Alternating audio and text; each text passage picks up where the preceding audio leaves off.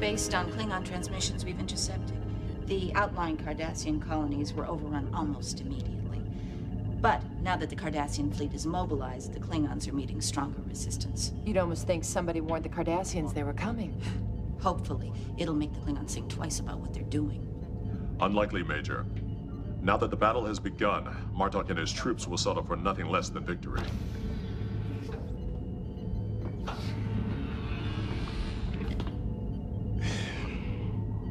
Well, what does the Federation Council say? They've decided to condemn the Klingon invasion. In response, Gowron has expelled all Federation citizens from the Klingon Empire and recalled his ambassadors from the Federation. You're saying he cut off diplomatic relations? He's done more than that. The Klingons have withdrawn from the Khitomer Accords. The peace treaty between the Federation and the Klingon Empire has ended.